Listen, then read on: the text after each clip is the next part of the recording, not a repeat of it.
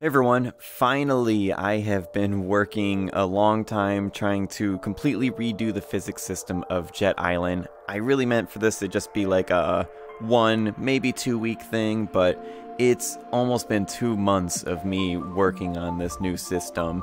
And uh, basically I've gotten everything to the way that uh, it originally was in Jet Island, but now a lot better. So let me demonstrate some stuff. Uh, let me try to line up. Actually, wait here. I can turn the camera this way. But yeah, now if I push my head into a wall, it's perfectly smooth. Like walls just feel like completely solid. Like it just feels like it's a real wall. So it doesn't feel like the wall's pushing you out. It just feels completely solid. So that's something that uh, took me a long time to figure out. So when you're hanging on a wall like this with your hook shots, even if you push your face into it, it just feels completely rock solid and like it should. Uh, what are some of the other differences that I've done? Uh, there's a lot of stuff going on like under the hood of the game uh, that just make the programming a lot better for me. So I really wanted to redo the programming because it was just turning into a complete jumbled mess. And it was really hard to do any sort of modifications to the physics system at all because I've just been developing it for so long. So it got to the point where I couldn't really like modify it and improve it without breaking a bunch of things. So I've redone all the code and now anytime I want to add a new feature to the game, it should be a lot easier for me to do. Uh, here's another situation where the collision detection just works like perfectly. Here I am in like a crevice and I can even go into even more extreme crevices uh, without uh, anything uh, messing up. Like, let me, let's see. Here, here's a good example. So before, like, if you got, let me change the camera angle. If you got like a ton of speed and tried like going in between two, uh, I don't know, surfaces like that, you would just like squeeze between those surfaces and you'd glitch out of the map. But now I've just made it like completely rock solid. I know a lot of the uh, speed runners for Jet Island actually took advantage of that glitch and used it as a way of glitching through a wall and uh, beating the game quicker. So now that should uh, be an extra challenge for speedrunners Alright, so here is uh, another example of when you are standing between two surfaces coming together. If I crouch, I can actually get in between the surfaces, like I can like make my body smaller, but then when I stand up, it pushes me out like exactly as I'm standing up. So uh, before, like your head would go through the ceiling, but now, this looks funny in real life. But like now as I stand, it just like pushes me out like at the exact same amount. So it just feels so much more solid. Like all of the collisions just feel really, really solid now. There we go. Yeah, before when you're like hanging on the side of a wall, like there'd be just a little bit of stutter, especially like a slanted wall, but now it's just completely smooth. It's just like perfect now.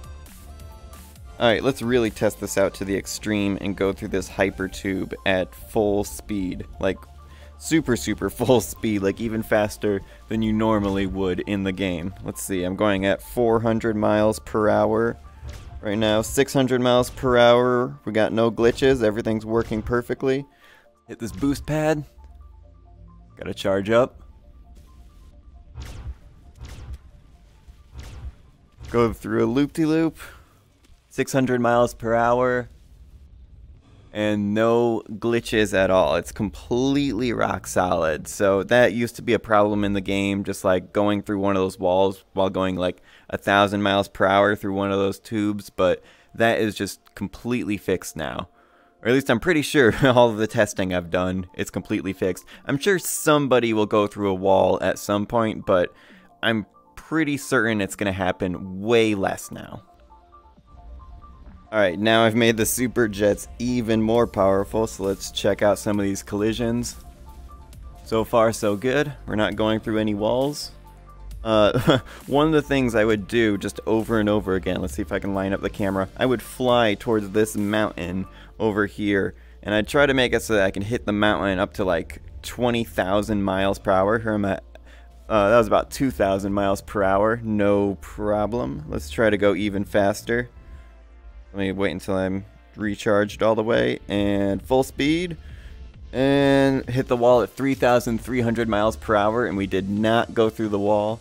Uh, so I've done tests where I've gone up to like 20,000 miles per hour straight slamming into a wall and not glitching out. So I think the collision detection system is a lot better now. So I really worked on trying to make the collisions both perfect when you're moving slowly and perfect when you're going at ridiculous speeds. So it's like the perfect collision detection system. And I'm going through this tube here. Let's really push it. Ah, that was like a thousand miles per hour. so yeah, you can travel a thousand miles per hour through this hyper tube, and the collisions still work perfectly. So it was a lot of work, but I think it uh, was worth it in the end. I, I, wish it didn't take two months to make this, but I guess that's game development sometimes. It just, things take longer than you expect. Alright, so the other thing that I've been working on perfecting is moving platforms. So here I am standing on the giant worm. I'm now traveling at uh, 75 miles per hour just standing on it. But uh, yeah, I worked really hard trying to make sure the moving platform system uh, worked perfectly, and it is so much smoother than it used to be. This final boss fight really pushes the moving platforms to the limit. I know one glitch that for sure happens is if you touch two moving platforms at the same time, you will fly away at a thousand miles per hour. So let me demonstrate that and try to find two moving platforms that I can touch at the same time. Here we go. So I'll touch these two walls, and boom! I fly away at a thousand miles per hour. I'm pretty confident I'll be able to fix that in the next couple of days because uh, I know when it happens. It happens when you touch two moving platforms at the same time, and I've narrowed it down to a variable that's like just way higher than it should be. So I at least uh, am going to be able to track down this glitch and I know what to work on to try to fix that. So that is the next thing I need to fix. If I can fix that, I think the moving platform code is going to be just about perfect. So yeah, the moving platforms are just way better now. Like you can see, this is like pushing me, but it's completely smooth. Like before, it just used to like stutter just a little bit when it would push you, but now it just feels like a rock solid wall, just like when you try to push your face into a wall. It's a subtle difference. I think, you know, it could just be my imagination, but I swear the ground and walls, they just feel more solid now. And no matter what speed you're going, you pretty much will not glitch through any wall. It's really, really difficult to glitch through a wall now.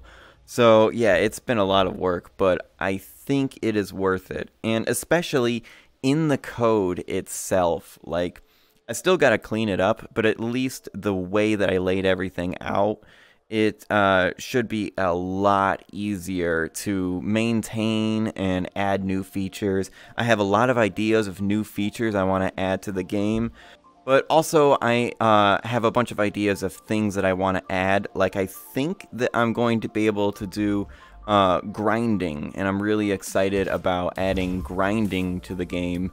Uh, I also think I want to make it so you can use your hands to push yourself out of walls, push yourself up on top of ledges. Man, just spending the past like two months, I've been slamming my face into walls at thousands of miles per hour. So I'm really glad uh, this is all working now. I think that is everything that I wanted to talk about in this video, so hopefully in the next video I'll have some more new stuff to show utilizing this new physics system. So until my next episode, I will see you later, and keep making games. And I'm getting dizzy. this collision detection system works really good. okay, I'm actually getting legitimately dizzy from this. Okay. Taking the headset off. Oh. Wow.